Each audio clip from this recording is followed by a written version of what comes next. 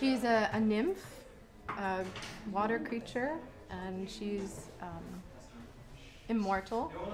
And she falls in love with Acis, who's a shepherd.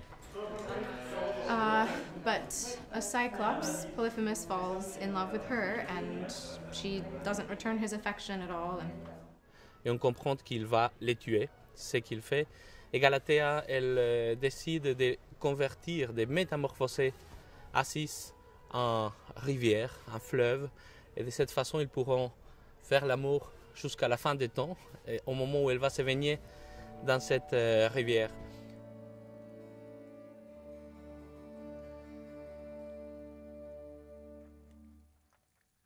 She will have uh, energy from the ground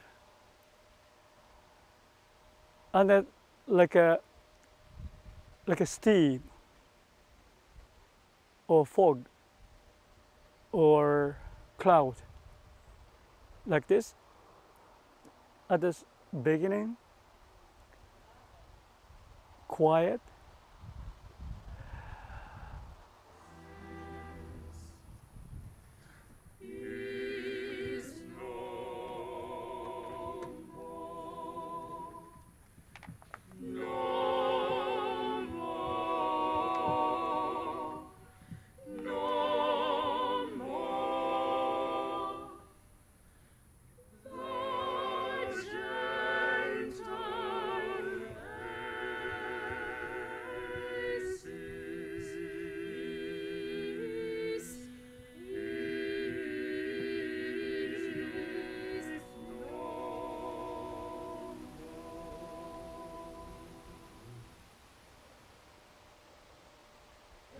Well, we've actually we have been rehearsing for gosh, 5 or 6 weeks now. And so 6 days a week we would just work on these movements for 5 or 6 hours.